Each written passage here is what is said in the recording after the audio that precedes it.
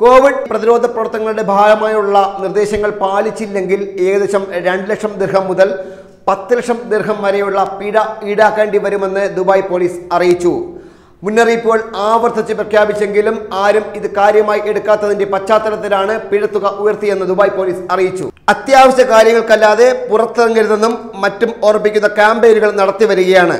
വ്യക്തികൾ തമ്മിൽ അടുത്ത് ഇടപഴകാതിരിക്കുന്നതാണ് സുരക്ഷിതം. നിയമങ്ങൾ പാലിക്കുന്നതിനൊപ്പം അഭ്യൂഹങ്ങൾ പ്രചരിപ്പിക്കാതിരിക്കുകയും വേണം.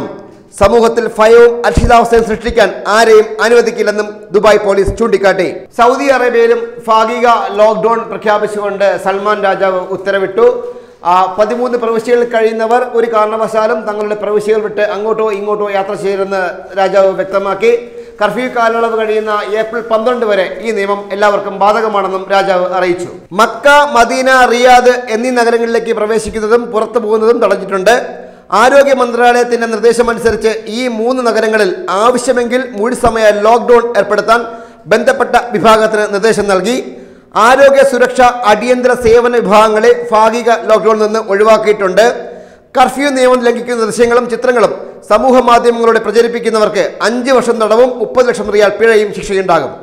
ആരോഗ്യ മാനദണ്ഡങ്ങൾ പാലിക്കാത്തവർക്കെതിരെ കർശന നടപടികൾ സ്വീകരിക്കുമെന്ന് ഒമാൻ ഭരണ നേതൃത്വം വ്യക്തമാക്കി. സമ്പർക്ക വിലക്കിൽ കഴിയുന്നവർ പുറത്തിറങ്ങുകയോ മറ്റുള്ളവരുമായി ഇടപഴകുകയോ അരുത്.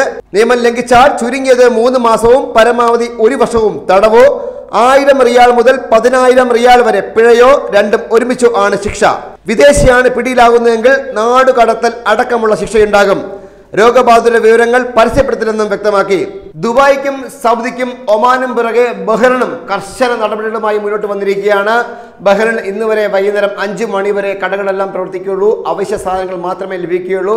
അങ്ങനെ ലോക രാജ്യങ്ങളെല്ലാം തന്നെ കൊറോണ കോവിഡ് പത്തൊമ്പതിനെതിരെയുള്ള കർശന നിയമങ്ങളുമായി ഇപ്പോൾ രംഗത്ത് എത്തിയിരിക്കുകയാണ്.